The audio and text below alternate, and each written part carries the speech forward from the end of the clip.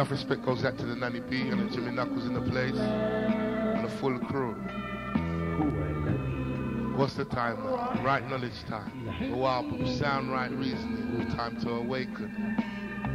Mr. Man, if you're out there across the city and I know you're listening, it's cool in the studio. Also, OG Briggy. Yeah. Massive shout goes out to Natty, Natty Morgan, Jimmy Knuckles, and Nanny B. Sorry I'm a late London City. Sorry I wasn't on on Wednesday night. Shadow Hour. Wasn't my fault. Station came on too late for me and Senate was in the place and we went straight to the DJB. So the tape, the Triad of Atum Re, part two, I will give you that on Wednesday night. I was just you today, I will rerun the first part today. Okay, those that are righteous already and have found the truth, you're full. You're in your garb, you're in your dress. You're right already. Look clear off, I don't want you to listen. Listen at your own peril. Those that have open minds and are sincere and look in the truth, sit back, relax and listen. Grab a pen and a piece of paper. Take down the quotes halfway through the tape. I'll give out the question and answer classes round and about the capital. So you can check out the information for yourself. But those that are righteous already, you've found what you need. Need what you got. Clear off. And Errol out in London City, I haven't forgotten you, my brother. I've just been very, very busy.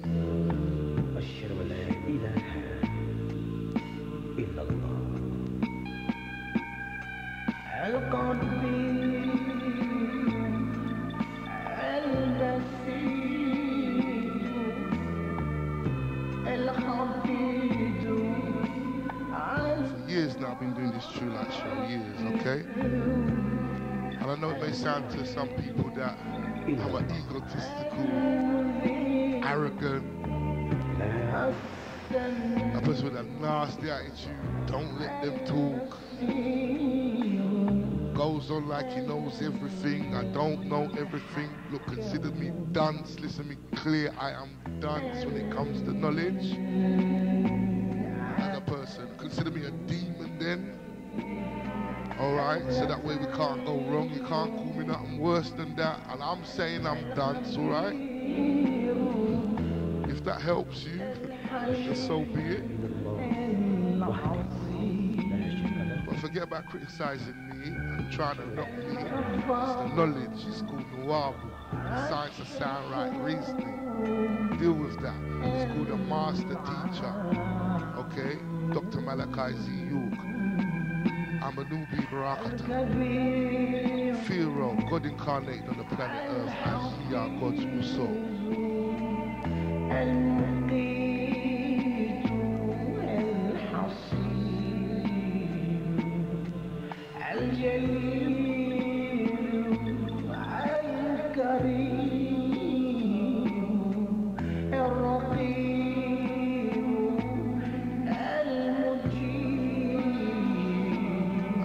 Man, if you're out there across the city, give us a call in the studio, please, Mr. Man. Give me a call in the studio, please, also the OG Briggy.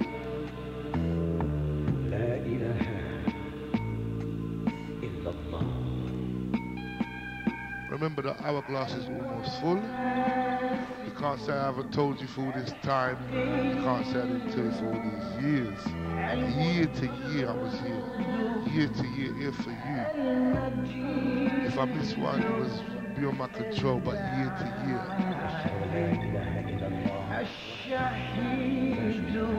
And in that time, many a song. Uh, I wish I took to went to see that rebel. And when you see me, then what? Only the reason with that rebel, I open up the phone lines, you don't phone. You walk north, east, south, west, complain, moan to everybody else but me.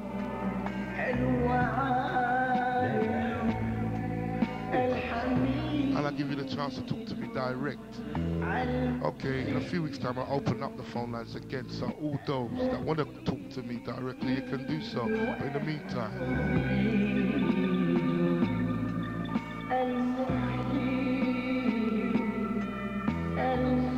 students of Nuwaubu, sound right reason, reinstilling our original culture on the planet Earth. Sit back, relax and listen. Take it in and do something about it.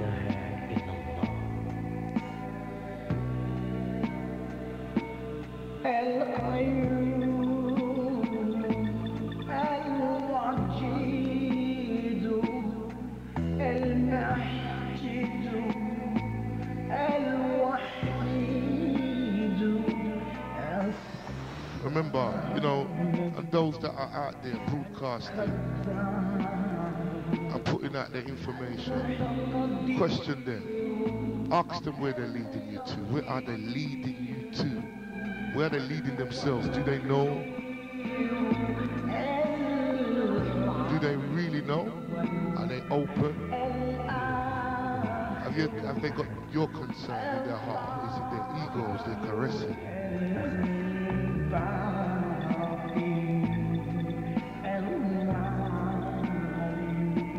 Many a latecomer wants to be a star. What kind of star? The bright morning star. Halal Ba Shakar. A demon. For what? For praise? For what? Money? Fame and fortune? Just so you're known in the community. That's some righteous chap. Hey, hey, I ain't no righteous chap. Regular bread on from the roads don't know everything, but I do want to know. But I know a God that does.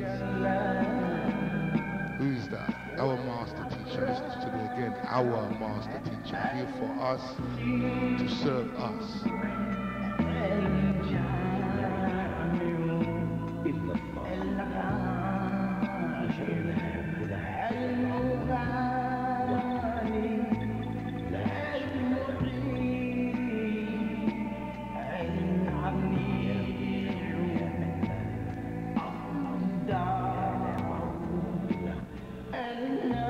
So what am I here for? To point you in the right direction for your children's sake and your children's sake alone. Forget about us adults, man. We've done past it and mess up already. But the children, we can put pure information in their minds.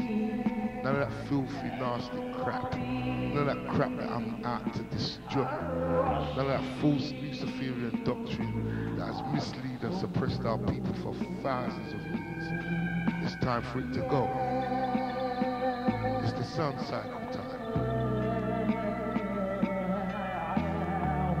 Remember what I said, if you are righteous already, clear off. Go and say your prayers. Read your Bible, your Quran. Look, Juma, you should be in there if you're a Muslim. And clear the heck off and leave me alone. Now, those that want to know, sit back, relax, and listen, because it's your time now. Okay? It's the triad of Atum Re. Okay? These are free students of the Wabu, free students of the master teacher. Check them out for yourself. Sit back, relax, and listen, and here we go. Telephone number in the studio. For any comments or suggestions in what you're about to hear. 07 95 777 5477. Those of you that go and phone the DTI and complain and whinge to other DJs, look, there's nothing you can do about it. Don't you see? Call me direct. 0795 777 5477. Not your God can help you. Peace.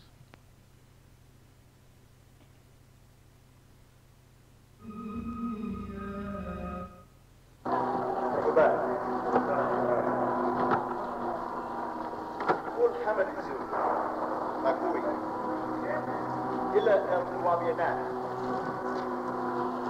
الذي هذا of All praise to the one who born in the personage of Allah. It is vital that we understand in this day and time that we indeed are in the personage of Allah. We the triad of Atum Re are here to teach you that you are indeed God. Understand thoroughly understand that yes, we are God. Because if we don't raise our level of consciousness to the point that we are God, we will truly be destroyed.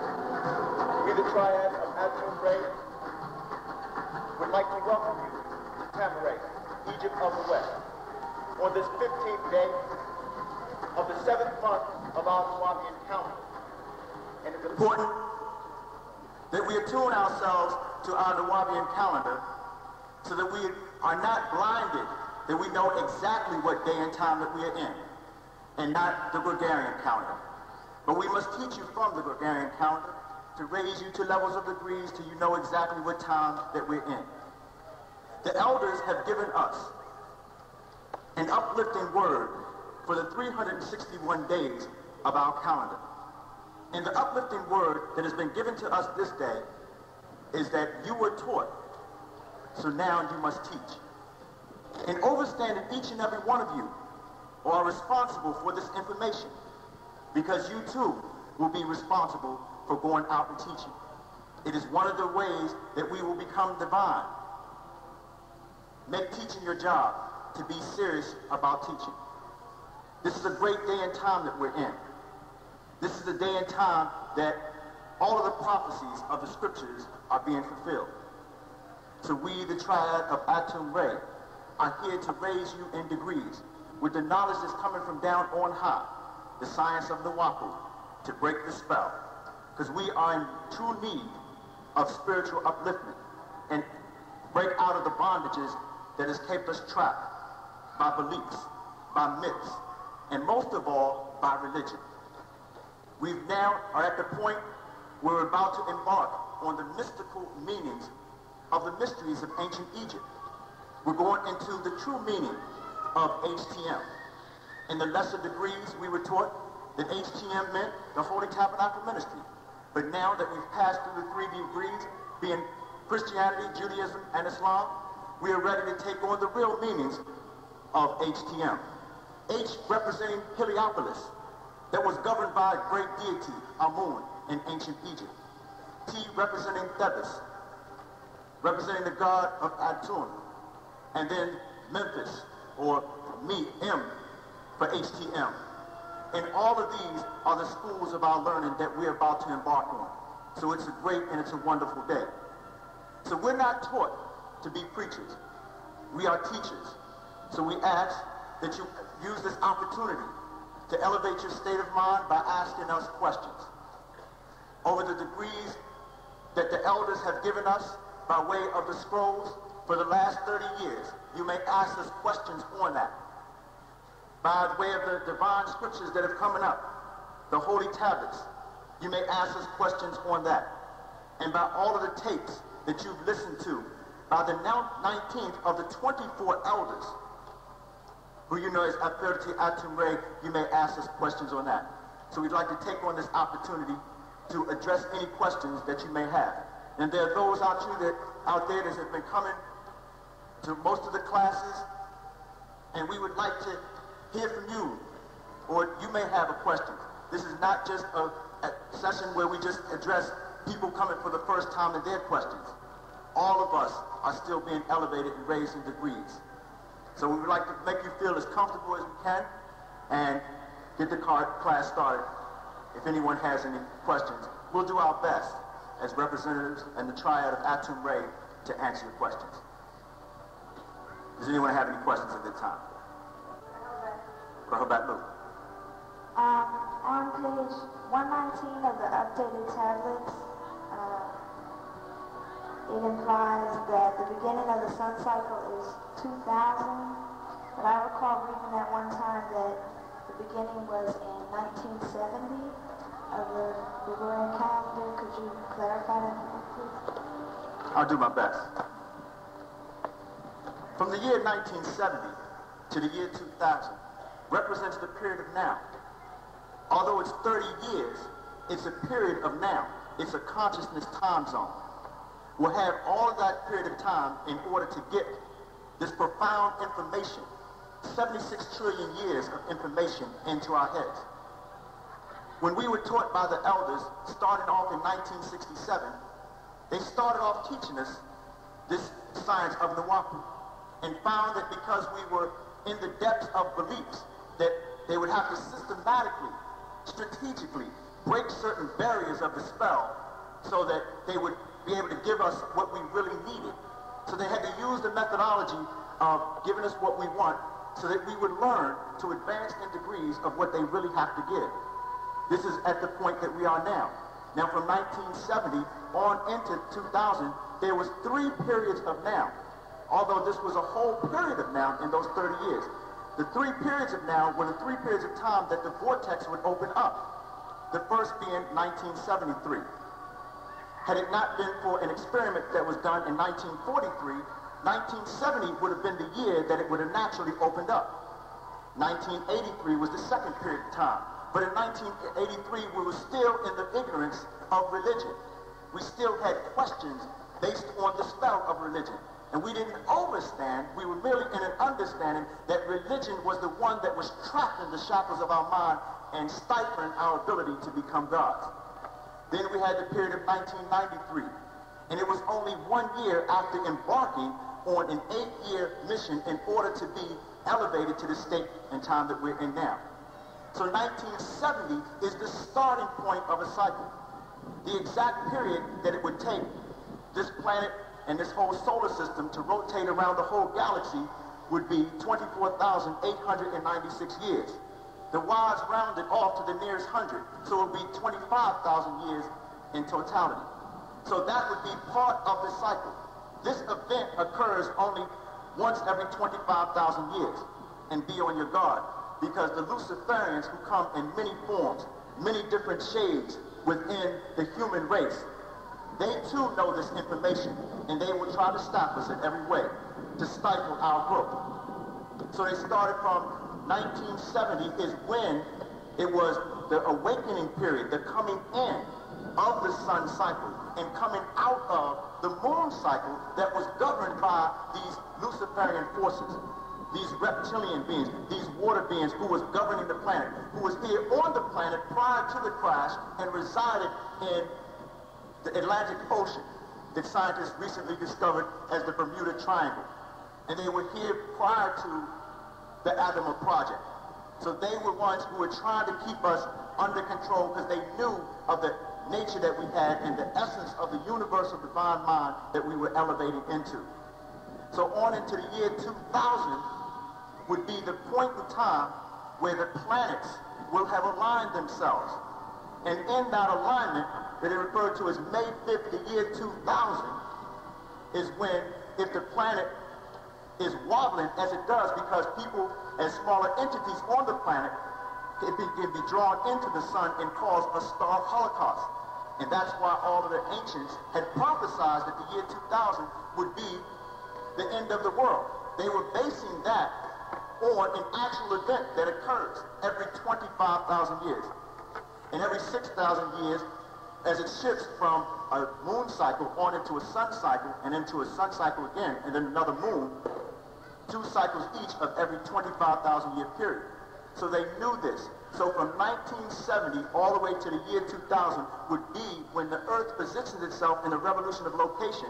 And although we calculate in, in degrees by one year at a time, of 365 days as the Earth spins on its axis, it's still a whole period of now.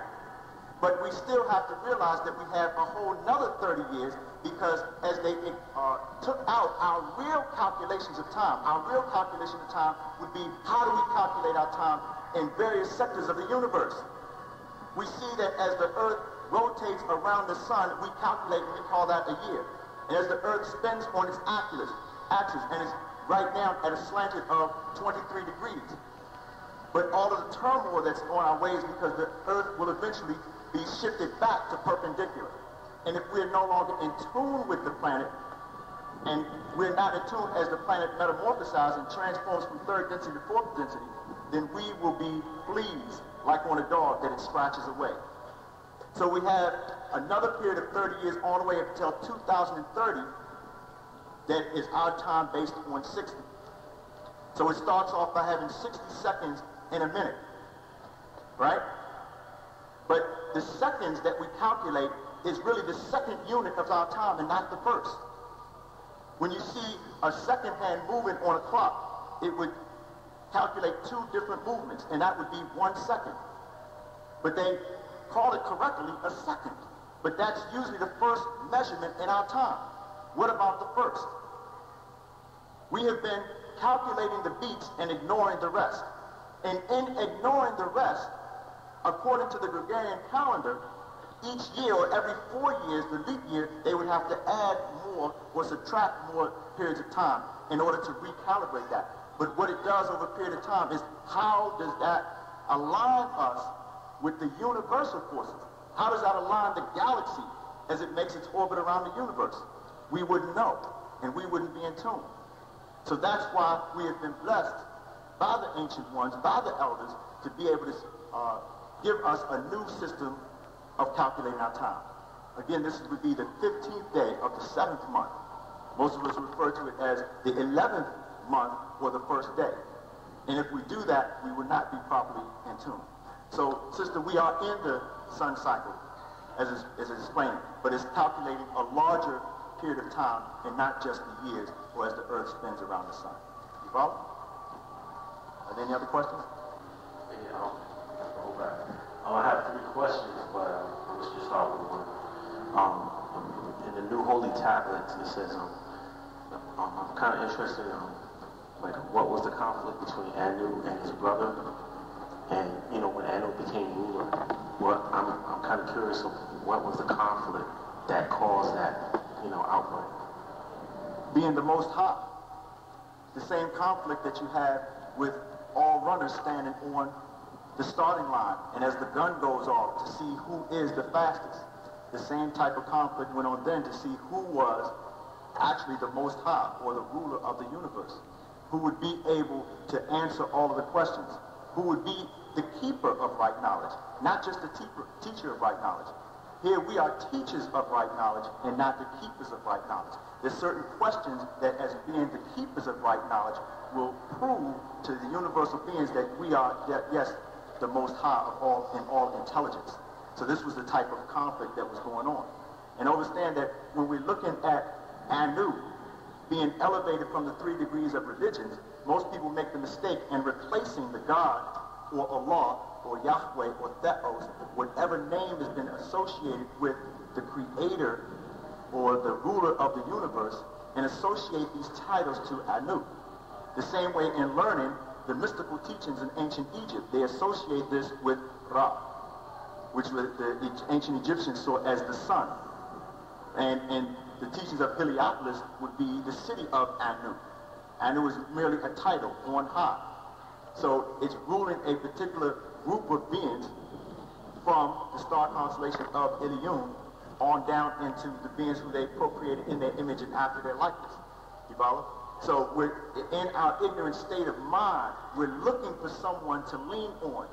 Even and it says there in those scriptures that he breathed of his essence into Adam, and Adam became a spirit that lived. So that means that the true essence of the Most High would be in each and every one of us. So after periods of time where this information was once fact, and then it became watered down into myths and to beliefs into where we are today, they taught, they knew that the journey would be inward. All of the ancients knew that the journey of finding that divine force in you would be in traveling on an inward journey to pull out the essence, not something that's unintangible. So one of the ways that they en- enhance us with the spell of sixth ether or ghostism is what we talk about, is to get you to worship or to look for, to send your energies out into an unattainable force on the outside. You follow? So you're dealing with a title. You're dealing with you're dealing with beings as as we've been blessed with the elders that have the wisest or that have the most information on the planet as we're being elevated degrees and as we're teaching you and you're being taught, when you're in a group, group of people that are in a state of ignorance, you become the wisest person that they've ever encountered.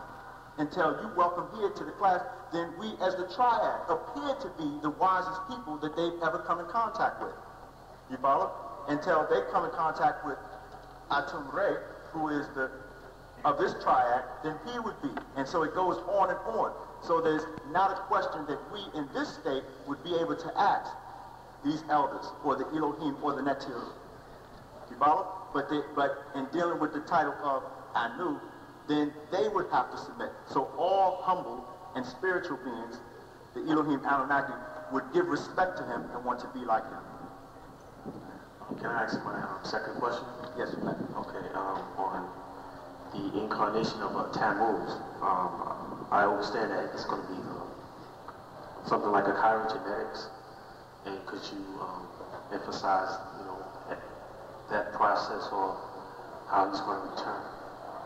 Okay, when you look at science today, and it was hard to talk about this information, say 30 years ago, because the scientific community hadn't caught up. So when you look at the book of Luke, and the first chapter in the 28th verse, and it is given the birth of the incarnation of Tammuz, talking about Jesus, right, or Yahshua, right, it, it leaves us in a state of ignorance, and we are having to accept faith that he was born of an immaculate conception. An immaculate conception, meaning God came down and did not touch this virgin, and yet she gave birth to God. Now, when we go and we try to question that, even before we were institutionalized by a religion, as little children, we honestly ask, well, how was this done? You see? Now, that they have the ability, like uh, in vitro fertilization, to be able to isolate a gene, right, and splice the gene in the DNAs of the gene, and to be able to implant the other DNAs of, a, of, a, of another male, like for example, if you were about to pass on to a higher life, and you wanted to impregnate your, your, your wife, right, they could literally free, freeze the sperm and then to inject it later on. You follow? And then they would be able to tailor-make the, uh, the genetics of, of another person to be, you can actually have a physical sexual act, but it wouldn't be your DNAs and RNAs, it would be someone else. This was done with Gabriel for the seed Tammuz, because it would be the manifestation of perfection there in the flesh. So each and every one would uh, herald in this being. First one being Elijah, right? And then that would be an Elohim Yahuwah. And that happened at three periods of time already. And then he would herald in the supreme being. In this case, a supreme being. Every 25,000 year cycle, a being that has the ability to answer all of the questions to a confused world incarnates into the flesh. And this, in this case, prepares and opens it up for the coming of Senenda. So here, the Federation has to prepare a selected few to be able to take them out of this poisoned world and use them to, uh, to genetically breed with them to be able to repopulate the planet. The same thing that was done with the meteorite showers before, with the dinosaurs. They had to go and then breed in and then repopulate the planet. And the same thing is being done in this day and time with the 144,000.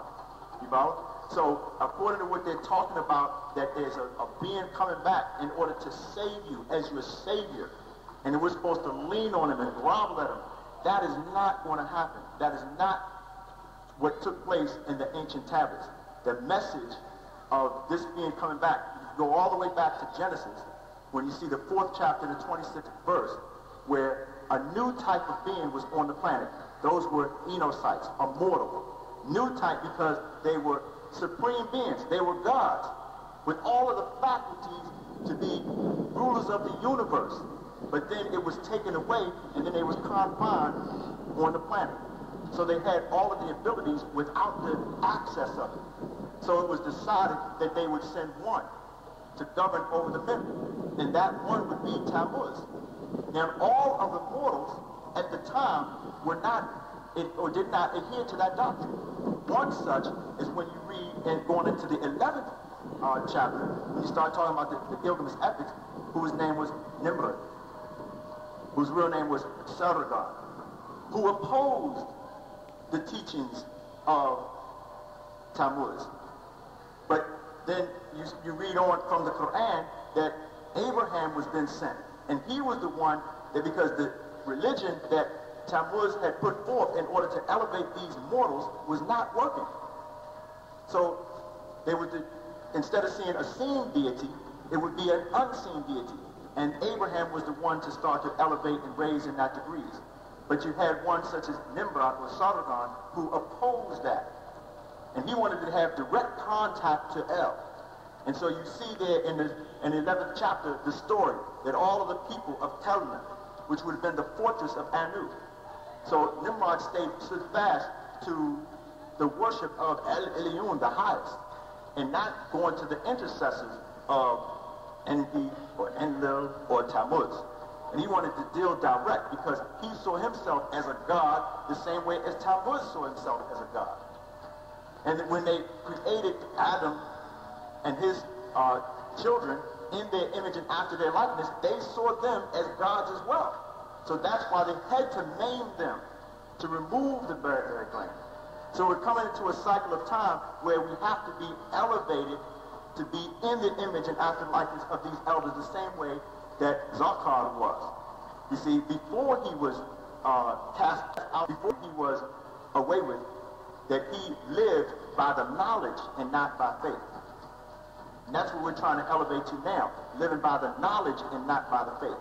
So not necessarily having the faith that someone is going to come to save us because the helping hand that we're looking for is at the end of our arm. Did that help you, brother? Yes, it did. Um, also, I have two more questions. One is in the Holy Tablets. One is about um, Sahidus, the father of Id, and um, he's a draconian. But I'm, I'm curious that where did his seed come from other than the Meldekian planet? I don't, I don't know if I'm wrong as, as, as draconians, as, as reptilians. You follow? Which, which we're looking at the products of inter, intermingling those, uh, those genetics.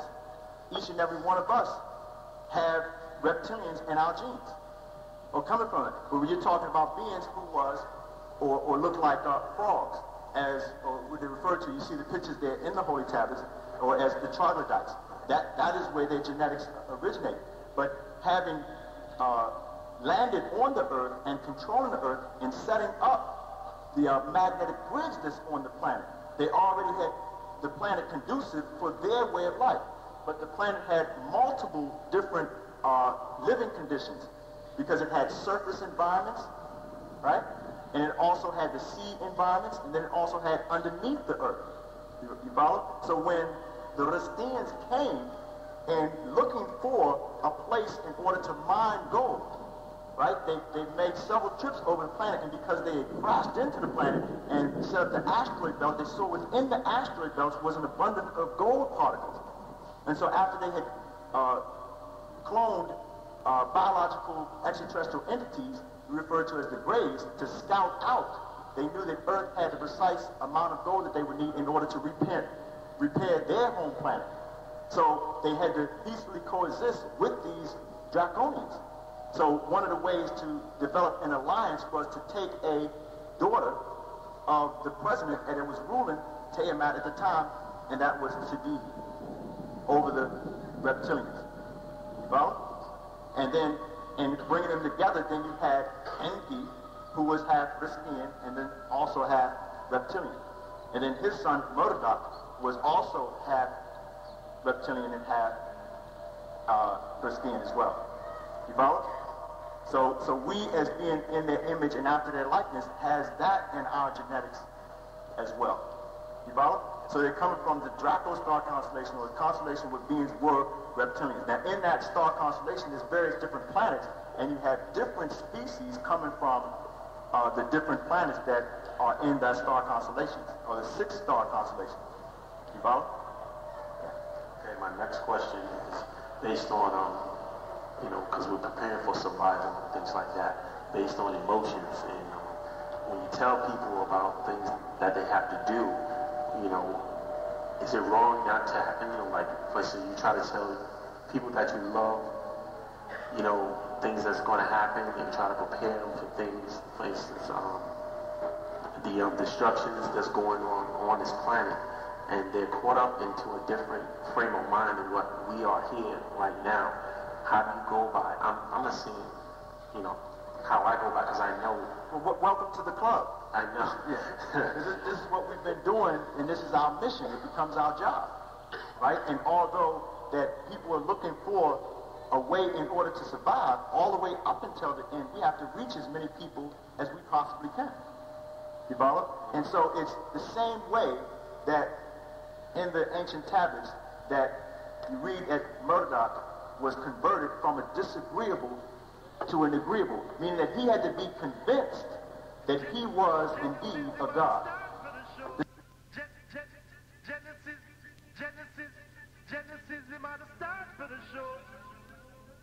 Remember, all of the audio tapes that I played on the 916 on the True Light show are available at the fraternities and bookstores around about the capital. Go buy it. And To convince you that you two are God. And that's the hardest thing. Because that is what they took and took us out and blinded us by the spell. To get us rather than to do things on our own, but to get another force that we would hope for, that we would wish for, that we would believe in.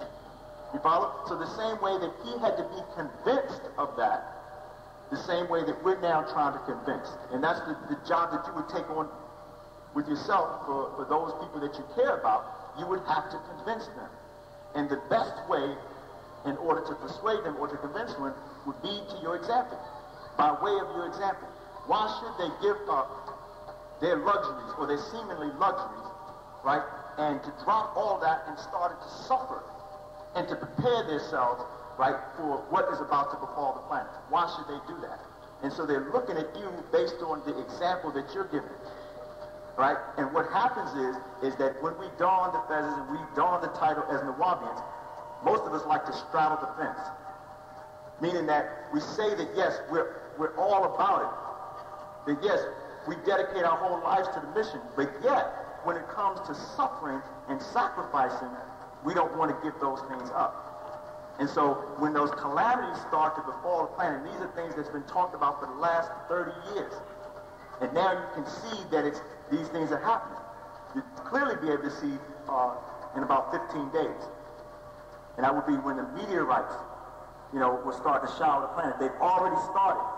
They've already started to hit the planet and have been, those particles that are hitting the planet have been electrified, right, in the air, and that's why you sometimes have these tremendous headaches now. Because it's already happening now. You follow? So now is, is a late day in time that if you've been sitting there waiting and doubting that you want to come and be a part of it now. You know I'm saying? You had already had to be sacrificing. So when you're trying to convince people, they're looking at your example. And that's why sometimes it becomes hard. Okay? Okay, I'm comfortable. And with that, I'll pass, with all due respect, the teachers on to my brother, Paul Hotep.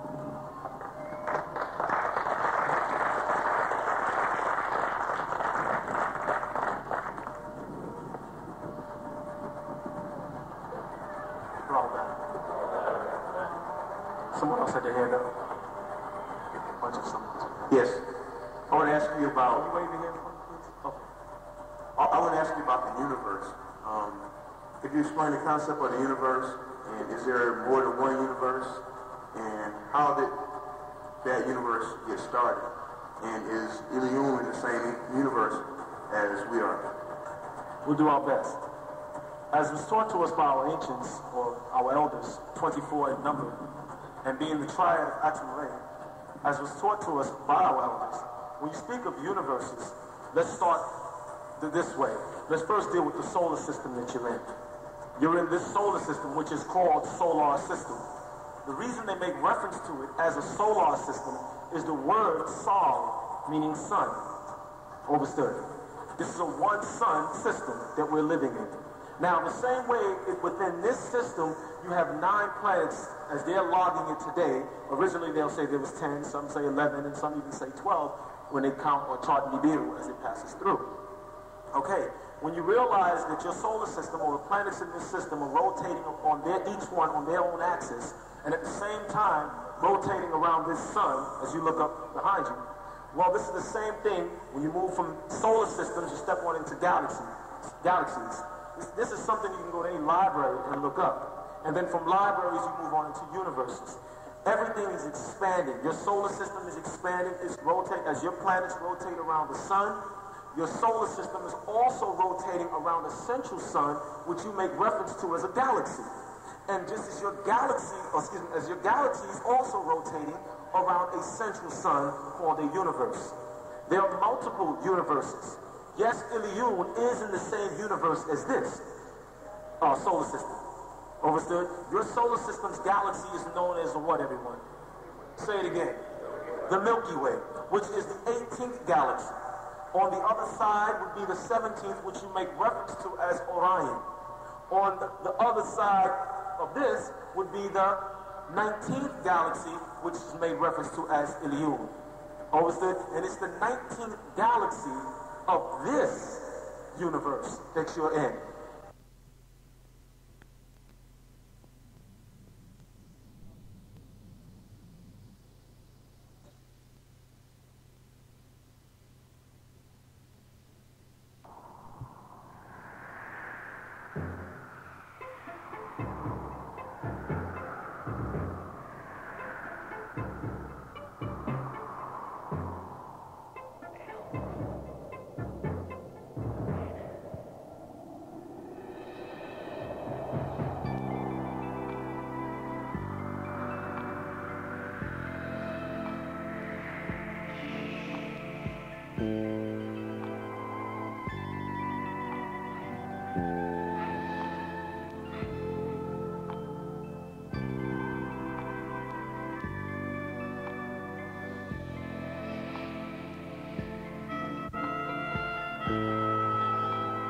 Any complaints?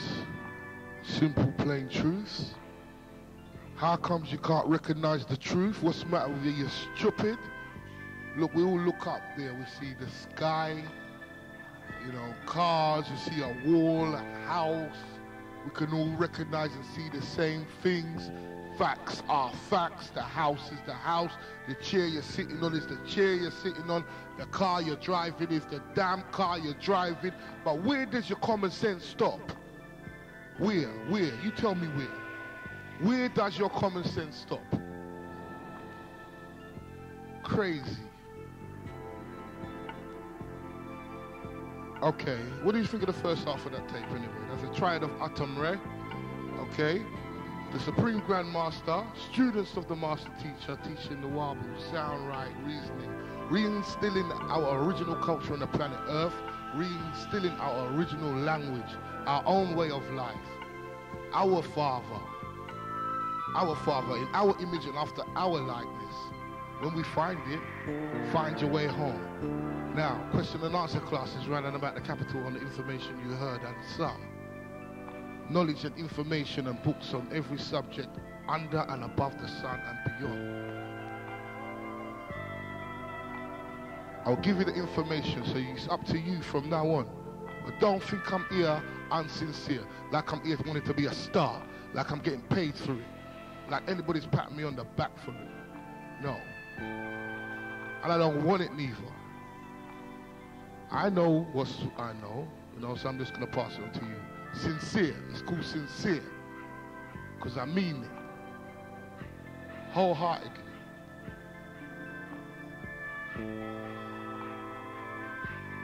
South London branch. Okay, there's fraternities round and about the capital. You may keep your religion because this is not a religion and sit down with your religion and study at any one of the fraternities round and about the capital. Don't say you didn't hear.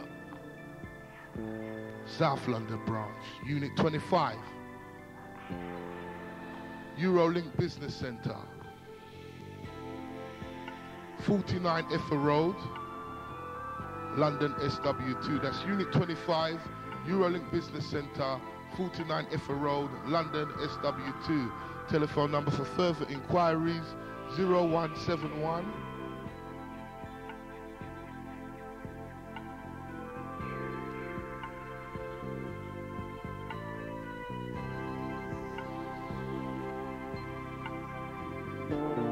978 8321. That's 0171 978 8321. Classes held each and every Wednesday evenings between the hours of 7.30 and 9.30. Sunday between the hours of 3 and 6. Okay, that's Unit 25, Eurolink Business Center, 49 Effra Road. Classes Wednesday, 7.30 to 9.30, Sundays 3 to 6. Okay, we have the Maat Academy. That's the Maat M-A-A-T Academy, 10 to 16 Ashwin Street. That's Dalston E8. Phone number for, for further inquiries down there, 0171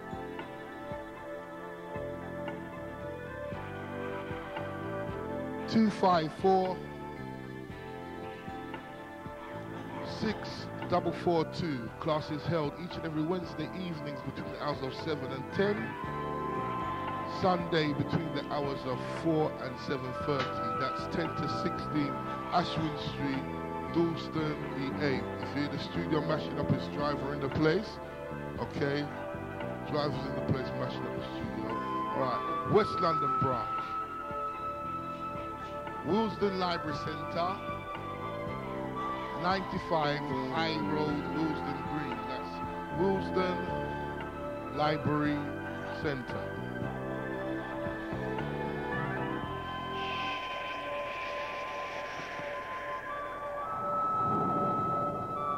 Ninety-five High Road, Willesden Green, NW10.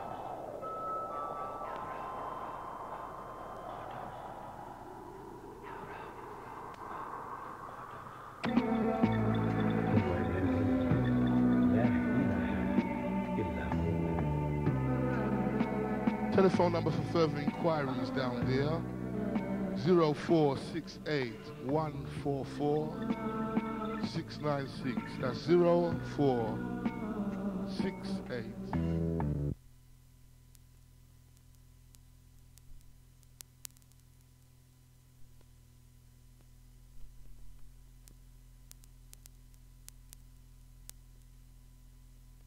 Seven and ten.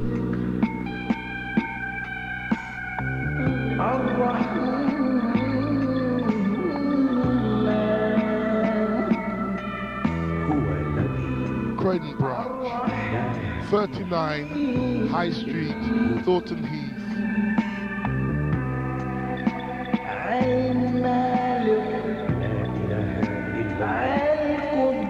Surrey Croydon, that's 39 High Street, Thornton Heath, Surrey Croydon. Telephone number down there for further inquiries 0181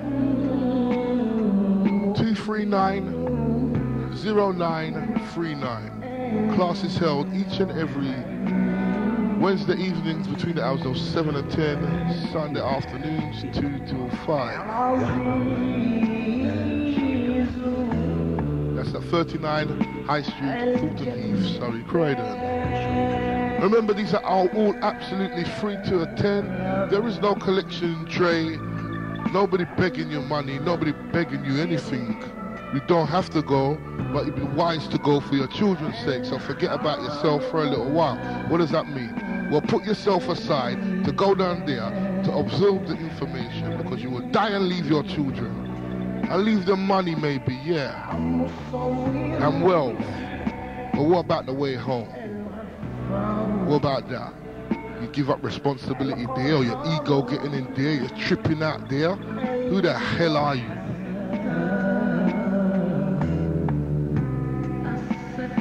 Okay, also at 39 High Street, Thornton Heath. Each and every Tuesday between the hours of 7.30 and 9.30, there's Nuwaubic language lessons. That's Nuwaubic language lessons. That's our original language. Before all of the riff-raff mumbo jumbo that we speak now across the continent of Africa, here, there, everywhere. The original language, our original language. What the hell am I doing wrong by telling you this, huh? But you have me up, huh? Okay. And also, 25, okay, Unit 25, Eurolink Business Center, 49 Effra Road, Brixton, each and every Saturday between the hours of 6 and 7.30 in the evening. Nuwaubic classes, okay, anyway you can learn your original language there. Also, straight after that, you'll get a video absolutely free by the master teacher. And you can sit down, and reason with the members of the United Nuwaubian Nation of Moors, the Nuwaubians, and get further insight and hook up with the elite. And we don't want every Tom, Dick, and damn Harry riff fool. Just those that are sensible and want to get the job done and can see what the mission is, which is to raise the children, the elite, for the return of our ancestors and the Torah. So you gotta get your light shining uh, right. So I'm here to try and wake you up, Lazarus. Many of Lazarus has, has awoken and, and, and gone on a different mission. Hey, when I wake you up, come this way or clear the heck out the way. You can't stop this. You can never stop this. Your stuff is perishing. All of your Luciferian doctrine from the Bible, Quran, Torah, all your Hindu books, all of it perishing, perishing things. Now the master teacher has written over 400 books on every subject under and above the sun. Listen to me again. The master teacher has written over 400 books on everything under and above the sun and challenged by any demon or black devil on the earth never to be proven wrong. Addresses everybody, but they don't address him. Why? Because they can't. They address one another, their thinkings, all kind of crap, but they do not address the master teacher because they cannot and will not and shall not. So you the lost sheep, eh, you can moan and whinge as much as you want. Your leaders won't do it. But you can if you want to. It's on the internet. Go and check it out. Okay, there's bookstores around about the capital. Alright? North, south, east and west.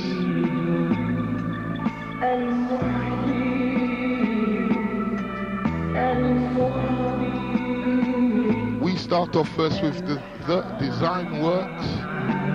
That's the Design Works. Park Parade, Harlesden, NW10. That's the, Design Works, Park Parade, Harlesden, NW10. Telephone number for further inquiries 0181 838 5999. Also at Tottenham, Seven Sisters Road, Indoor Market. That's Tottenham Seven Sisters Road, Indoor Market. Telephone number for further inquiries 0181 809 0284. Also at the Stratford Shopping Centre, Unit 25. Telephone number for further inquiries 0956 521 496. Also at 25 Brixton Station Road. That's SW9. Telephone number down there 0171 978 8321. Old tight Jason, Shamoon and the massive GI down there. Also at 42 Balls Pond Road, Islington. That's 42 Balls Pond Road, Islington. Hold Ahel and Mikael do down there, the Dalston Massive. That's Islington, 42 Balls, Balls Pond Road, Islington. Telephone number for further inquiries 0171 254 6442. And again at unit 63 to 64, Agora Indoor Market, 137 to 139, Rye Lane Peckham, SE15, telephone number down there, 0171 277 9793. Also another bookstore at 39 High Street, Thornton Heath, Surrey. That's 39 High Street, Thornton Heath, Surrey, Croydon. Telephone number down there again 0181 239 0939. Uh, you know, I'm trying to speed through this because, you know, I know CB2000 is never late, so I'm going to have to finish at 2 o'clock I've got the other side of the tape to play. Okay, so I've given out any of that information too quickly for you. You can call me in the studio 0795 777 5477 as Ra graces the planet Earth 0795 777 5477. Any comments or suggestions on the True Light Show, email me on WRWEC at Westminster.ac www.westminster.uk. That's W-R-W-E-C at westminster.ac.uk. Okay, we're going to go straight back into the triad of Atum Ra as taught by the 24 elders. Free in Awana. okay, we reverse the technology and here we go. Peace.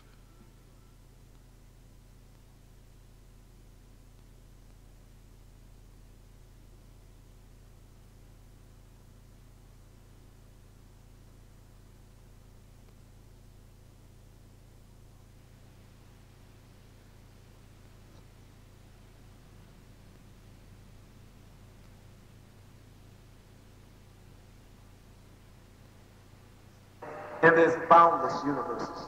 See, because of religion, religion has us looking to go to one point or one place and say beginning. As our elder, the ancient one of the 20 and 4, has always taught us, when you speak of beginning, even in beginning, you're losing something. See, Christians want to say, well, in the beginning, God said. But the minute you said, in the beginning, God said, you admitting that there wasn't a beginning. Why? Because you said God said. Well, what did he do before he said? That would make something existing before a beginning. They don't want to take you into to that level of information. This is why it's necessary that the ancient ones have raised up amongst us 24 elders as you're sitting here in lodge number 19 where we have Nitra Afirti Ray. And of these 24 elders, there are different teachers that must go out to right the wrong of the world that we're living in today. You've been taught misinformation in astronomy. You've been taught misinformation in biology. You've been taught misinformation called or termed history. You've been taught misinformation by way of religion. You've been taught misinformation by way of the music that we're listening to. All of the things that we've been taught are misinformation. But the hardest problem that we're having, that you, you have on a day-to-day basis, as you go out to deal with people is getting people to realize that all that we've been taught is right is really wrong, and all that we've been taught is wrong is really right. What do we mean by that? Quite simply, in religion, you were taught, thou shalt not kill. Does everybody say that? But you never did question God and say, well, why'd you kill the Egyptians?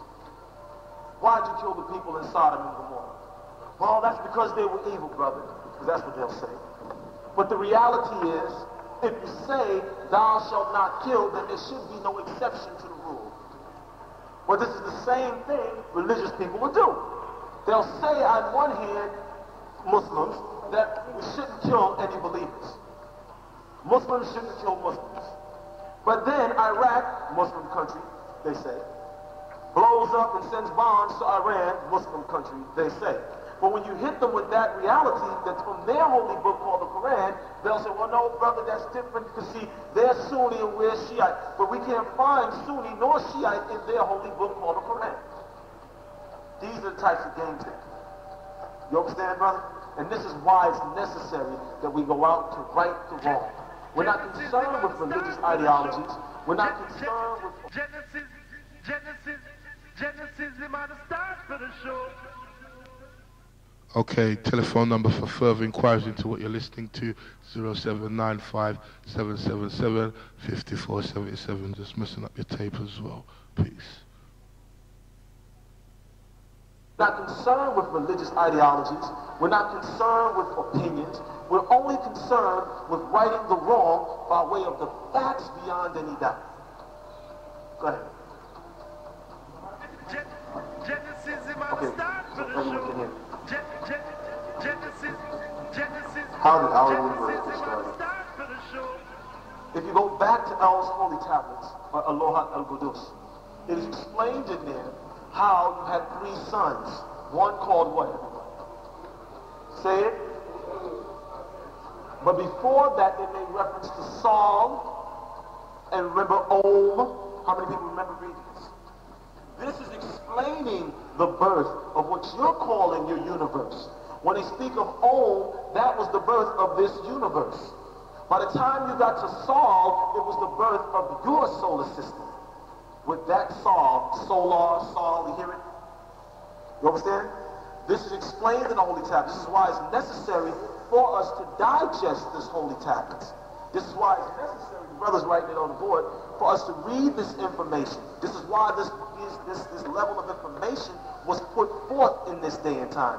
It could not have been put forth prior to this because we weren't ready. We were so busy wanting what we wanted that we weren't prepared for what the elders had to give.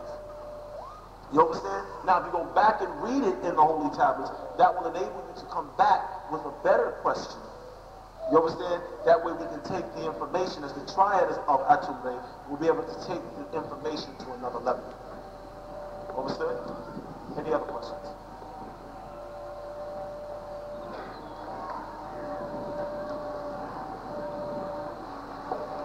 I have a question concerning the vortex. I know back in uh, 1940, um, the Philadelphia experiment was done by Tesla. And then the um, gentleman von Neumann in 1953 opened But I'd like to know how did Aldrich force it open? The USS Eldridge? Okay. Just, uh, wasn't sure for a second.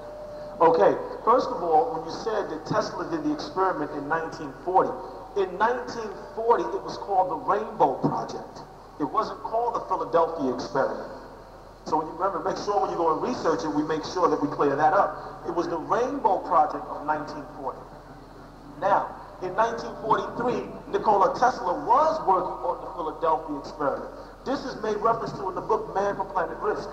Now, when you read there, it tells you that the problem was not the USS Eldridge, because when they ran what was called a dry run in 1940, the USS uh, Eldridge, when there was no men or people, crew members on the craft, they were able to perform. For those of you who've never heard what we're talking about, let's bring you up to par. During the 1940s, as America was in a war or engaging in a battle against Germany, which you refer to as the First World War, at the time, in 1940, there were certain scientists, German scientists, some Albert Einstein, others Nikola Tesla, others von Neumann, others Schrödinger, there's many more. These were the best or top nuclear physicists, chemists, bioengineers that were existing on the planet at the time. The American government at the time were trying to get these scientists, one in particular, Nikola Tesla, to work on an experiment that would enable them to have their ships be invisible to the German radar. At this same time, you had taken place over in Princeton, New York, the experiment known as the Manhattan Project, where Ivan, uh, Albert Einstein was working on creating what you refer to later as the nuclear bomb, or the atom bomb. How many people have heard of this? Okay, make sure we're all together. Some of us are here for the first time. Now, when this experiment going to the uh, Rainbow Project of 1940, they were able to make the ship invisible to radar. Now, the next problem was how could they have crew members on it and also make it happen? Now, there were those who knew, such as Nikola Tesla, that the human body has a biorhythm, that you are a living entity, and that Mother Earth, or Gaia, Matter Nature, or Mother Nature, is also a living entity that lives and breathes, etc. Now the problem wasn't the ship system. It wasn't so much the Eldridge, it was the fact that they had people on it and they were hoping since they were using military men or Navy men that everyone would follow protocol. They all went to sleep at a certain time, they would all eat certain times. And any of us who've ever been in the military, any of us out here today who've ever been in the military knows that people don't follow protocol even in the military. How many people in the military? Okay. People come and eat late, they eat more than they're supposed to, they don't exercise. So when they did the Philadelphia experiment in 1943, when they threw the switches, everyone's zero time reference or point of their existence was on. The result of this was when this vortex opened, some were snatched in by different reptilians and grays that in. Because remember, a vortex is a sphere of energy that encompasses all time and space. It is drawn, or it would be the same as, and Brother Jordan the for us, but it would be the same, some will say similar to a black hole. Or if you took a spoon, put it in a cup of water or tea or coffee or salt, whatever it is you're drinking, and you stir it, as fast as you could, when you remove that spoon out, you would see in the center what they would call today a whirlpool, or even in your bathtub when you pull the, what's the word? The plug or the drain out, you would see it go down, which is the same thing that was taking place. Some were merged in. Some became a part of the ship because their biorhythms was off. Understood? This was the problem. It wasn't the elders that were the problem. It was the fact that you had different people with different biorhythms. This is why, in this day and time, it is necessary for us to gather and do the affirmation at 3 o'clock Sunday.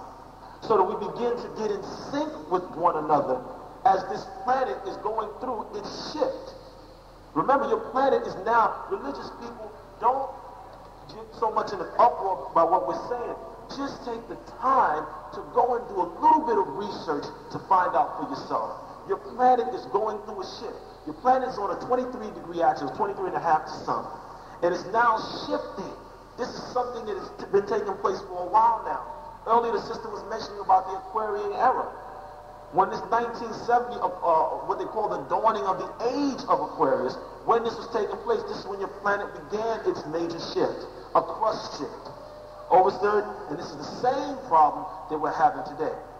The major problem with the USS Eldridge or in the Philadelphia experiment was because August 12th of that particular year, had they done it on August 11th, or had they done it on August 13th, it would not have been a problem. But because they did it on August 12th, and that was the birthday of Mother Earth. So she was peaking. She was going through her biorhythms, and everything was going. Overstood, Any other questions? Back. Um, I was reading in the tablets about the Earth being four times the size it is now, and due to different crafts and different events happening on the planet, it, it, it decreased in size. When the planet was at its normal size, how did the waters on the planet work? Because it didn't have a moon. Because the moon was a part of the Earth at one time. I want to. I, I don't what, understand. What do you mean? How did the waters on the planet? Because the moon pulls on the, the Earth's waters. And Doc said without the moon that the, the planet will overheat. And I, I want to understand, well... Without the moon, say it again, without the moon. Without the moon, how, how would how would the Earth, you know what I'm saying, stay cool? Like, yeah, the tides and everything, how would everything work? Remember, prior to this crash of Nibiru, when it came through, or actually Nibiru didn't crash, there was the four crafts or the four winds that they make reference to in the book of Revelations. Prior to this, this whole planet was a water planet. So you're saying the earth needs to cool. There was not a necessity for the earth cooling when there was no dry land. This is what you find mentioned in the book of Genesis of your Bible when it says, and the earth was void, and darkness was upon the face of the deep, and there was not yet dry land to appear. You understand? Prior to that, this was a water planet. See, the, the trick was in calling it earth that you didn't weren't able to see it. When they said earth, how, how is it as we're taught by the ancients, by our elders, 24 in number, and being enlarged 19, as we are taught by the 19th elder, how is it that you're living on a planet that's three-fourths water, yet they call it Earth? See, the original name was Tiamat, or Tiamantu. They had different names depending which societies of beings that were here and some that came here were dealing with. This whole planet at the time was a water planet. This is prior to your moon breaking on, which now scientists are admitting to. They're also admitting to the fact that the moon is now moving away from the planet. This whole system is changing. And the effects, we're feeling the effects daily. Whether it be in the sense of the meteorites that are already coming, you see them now, you call them shooting stars. Oh, I see so many shooting stars of meteorites that are passing the planet. And these headaches that all of us, or some of us are starting to get, especially if you live in these major cities, and headaches right here, is just don't seem to go away. It's nothing spiritual. It's the ionized particles of metal in the atmosphere because of the meteorite shower that's also being heated up by the rays of the sun. You understand? So make sure when, uh, when you're reading it, understand when you speak of earth, there's been many birth dates and records of this planet. The only reason we are confused because they have us trapped in time. They have us caught up in time, which is why we're taught by the ancients, by our elders, 24 in number, that when you see the word time backwards it's the word what? Emit. You must be, you must remove that concept that they have given you of time and step out of that concept and step into universal time, for lack of a better word. Any other questions? Yes, um, I have basically a two-part question in reference to the um, what is spirit and what is soul scroll.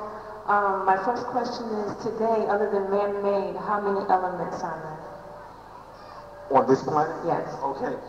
According to what your scientists are admitting that they have at this point, you have 115 elements today. Now, you said other than man-made, they say there's only 99 elements on this planet. Okay?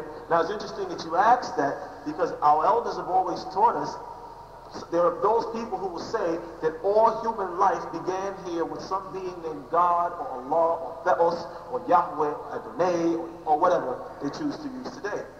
However, there are people sitting here right now that have an element in their body called molybdenum that you don't find naturally on this planet. However, you do find molybdenum on the moon. You do find it, excuse me, not the moon, Mars, Saturn, and Jupiter, not the moon. Make sure that's clear. Overstood? Overstood. Okay. Um, my second question is, um, could you draw an atom of one of these 99 elements and prove to me um, if the element does or does not have a spirit or a soul? You're confusing. My question is, do elements have spirit or and do they have soul? When you say the word spirit, say it, everybody. Say it again. You're taking it from the Latin word spiritus. Spiritus only means personality.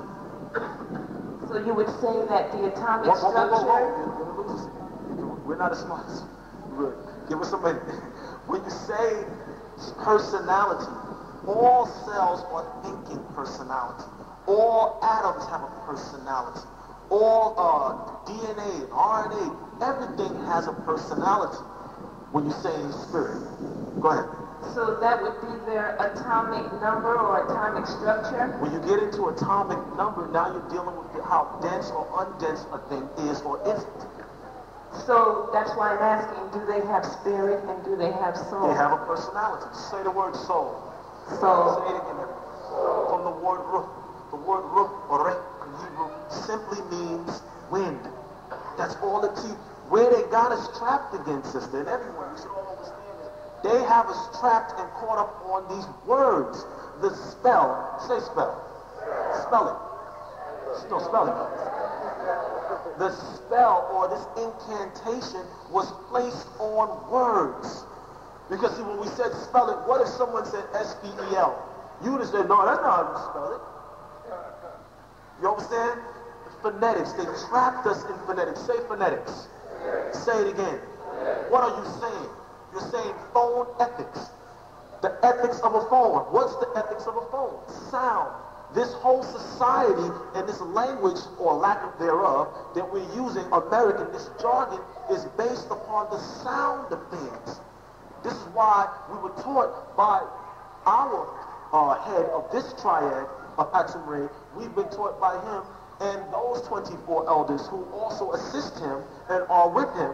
We've been taught by the 24 elders that it's important to go and let get the etymology of words. Everyone should have a dictionary that deals with the etymology of words in their house. So that every time you, you have a question or someone tries to hit you with something, the first thing you should go is, let's go to the word. In the beginning was the in the beginning was the word. So where should we go? To the word. Go to the word of things. This is why the Muslim world hates us so.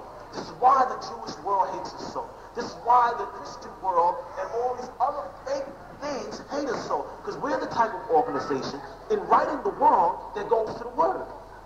They'll say Allah. We say, wait a minute, Allah. Alif, Lam, Lam, Ha. Let's go to it. Let's break it down from the word Ilu.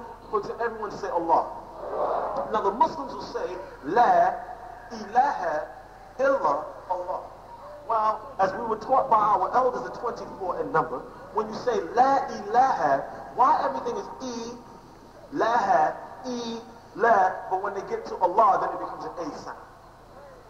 Because see, if you said it the way it was originally, you would say La ilaha, Ila, El Elo. But they knew that the minute you would say that, then you say, hey, you must have been given birth to by the Jews. This must be a plot. So they trapped you into removing you from having knowledge of words and got you caught up on one word called what? Believe. They got us believing. The first thing you meet people, regardless of what they accept or ascribe to or believe, the first thing they'll say is, you gotta believe in something. And as the Wahabi has been saying, where the hell is that written? Why do I got to believe? I don't see that in the Constitution. All men must believe in something. You understand? They'll say freedom of belief. Say that. We don't want freedom of belief. We want freedom from belief.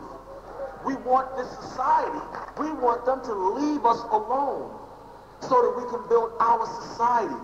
Their problem is when they're addressing us, they're confusing that we, number one, we are a the ancient mystic order of Malachi. That's our lodge. They're confusing that with our religion as an Egyptian Christian organization of HTM. And then they're confusing that with all of the other orders and rights that we have. So they'll say, that Dr. Malachi, he's y'all leader and y'all worship him. No, no, no. Everybody in HTM is not a member of OWN. Everybody in HTM is not a member of these different orders. So there's no way that everyone in HTM looks at him as their leader. Those of us who have been initiated or are seeking acceptance into the Lodge 19, that he is the 19th elder over, and there's 24 other lodges on this planet, this is nothing new. This is the same thing the ancient beings of Tama-Re taught. When you go back there, they had the lost cities of Mu and Atlantis. They had Lemuria. They had Easter Island. Overstood? This is nothing new. But their problem is they want to give us a God complex because of the fact that we're saying we're God. We're not saying Dr. Malachi York's the only God. We're saying all of us are gods. And if you're one in, in a particular order, if you were a Freemason, you don't have a problem giving the dues, as you say, or your just respect to the Grand Master of your lodge. Well, those of us within the Lodge 19, that's our grandmaster. There are those in Lodge 24, and they have a grandmaster. There's always been orders. As a triad of Re, there's three of us. And from each of the triad comes three. This is all a part of our culture. But their problem is they're trying to judge three or four or different orders within our rights. See, that, when they heard culture, they thought our culture is their thing. Their culture is so simple. Believe in God. Believe in the Bible, the Quran, or the or Torah, and everything's fine. But in ancient Tama-Re, or the Tamarian, when we or our descendants walked this planet, we had orders. Some called the school of Tehuti. They had the school of Bast. They had the school of Osiris. They had the school of Horus. This is why before you leave, everyone should go to the temple and walk through the temple of Imhotep and see these different tools and relics or ancient things. You can see where we're coming from. Then you should walk on down to the, between the flags and look at each one of those deities and recognize that each one of those deities was a school of thought or a school of information. Understood? So again, sister, and for everyone, whenever someone comes at you, make sure you go to the Word. That's why we, as the Nuwaubian nation of Moors, that's our, what's that? That's our nation. That's another branch. We, as the Nuwaubian nation of Moors, have always been hated, quite simply because we're here to right the wrong. And with that, I'll let my brother.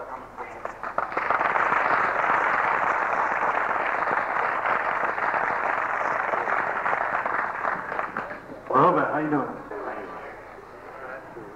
Yes, um, my question is concerning uh, beings who are allergic to seafood.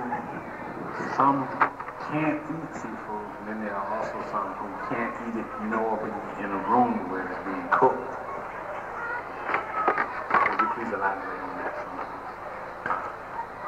You want to know why some people cannot eat seafood? exactly. And what quality?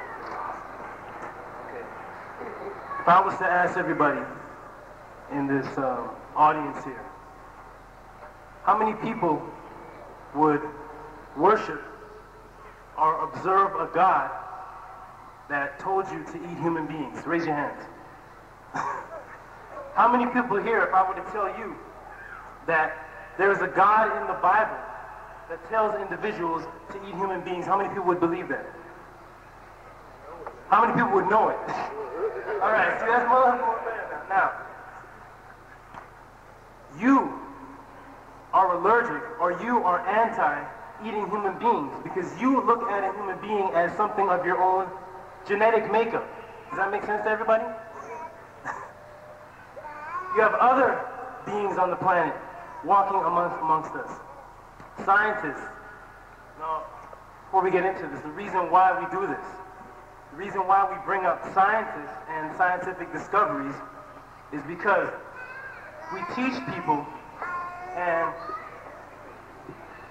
reach people as if they're skeptics, or as if they don't accept or believe or acknowledge what we have to say. So when we bring this information to individuals, we always have to go back to who? Him. And say, well, because he says this, you got to accept this. Since you don't accept what we say or what we're taught, we're going to give you his verification. Well, scientists, a scientist by the name of Dr. Jonathan A. Jensen, just discovered the Lystrosaur dinosaur, an ancient dinosaur which proves two things to us as Nawabi. See, we like this. We like it when the scientists come with information and verify what we've been saying or what we've been taught by our 24 elders since 1970. Don't y'all like that? Now let's hear what they, let's hear what this guy has to say. They discover a Lystrosaur, and they say that this Lystrosaur is a reptilian, but has mammalian traits in it. What does this mean? There are no reptilians that they're showing you today, according to them, that have mammalian traits in them. But yet they discovered two dinosaurs, another one called what? The Dimetrodon, another reptilian. How many people here raise your hands if you heard of the Dimetrodon? The Dimetrodon, a reptilian that has human traits in it. What does this mean? This means that there's some type of evolution taking place on the planet.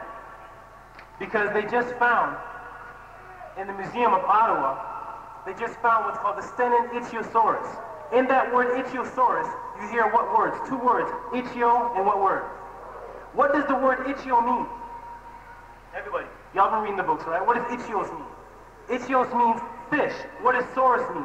From the word dinosaur, a lizard, a huge lizard. They've discovered that two children in India are suffering, and individuals across the world are suffering from these diseases called ichthyosaurus, which is a fish lizard disease. How is it possible for human beings to have a fish lizard disease? Can somebody help me out here? What's that? Somebody said. Because there has to be fish lizard DNA or some type of reptilian trait inside of human beings today. There has to be. The evolution of man, when they studied in this Museum of Ottawa, the Stenon Ichthyosaurus, they discovered that it went back 63 billion years ago. And they found out that there was an ice age that took place around that same time, like 65 billion years ago, and this wiped out this dinosaur man and the original beings who used to dwell on this planet Earth. Now they find out that there's other life forms on the planet that didn't get wiped out.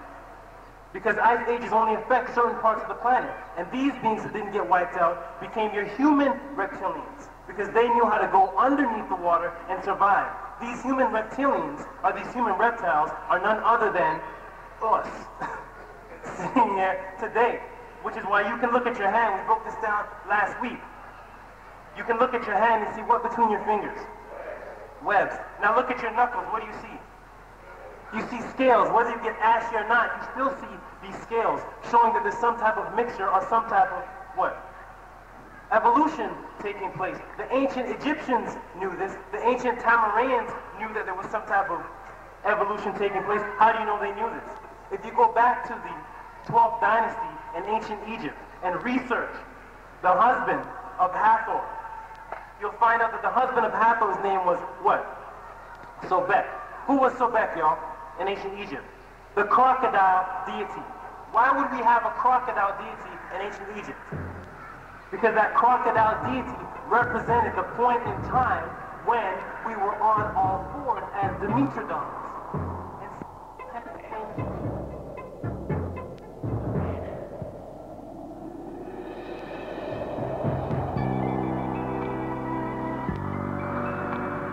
Guess what?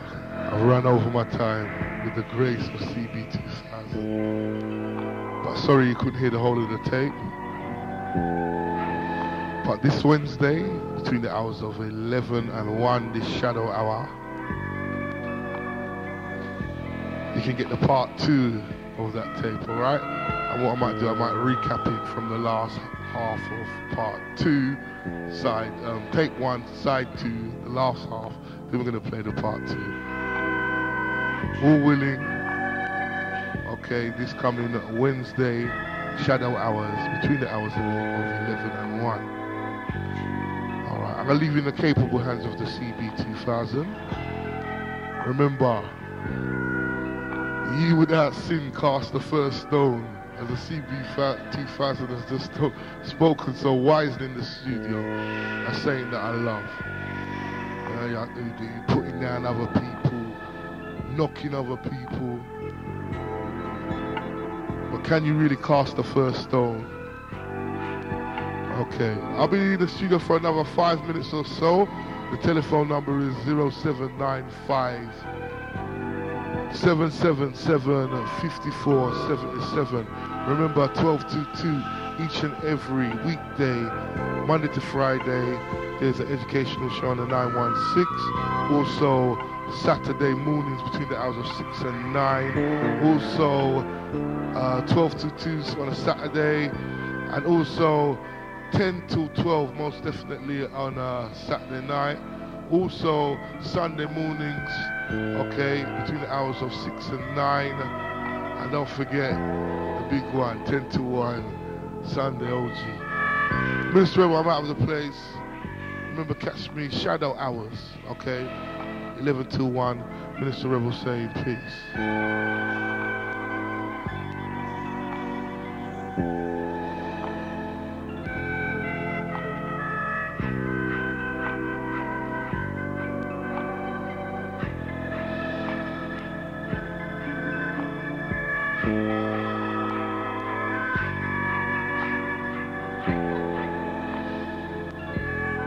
I feel no way if the phone lines are a little busy at the moment. A mystery man, would you like to call us in the studio or on my personal line?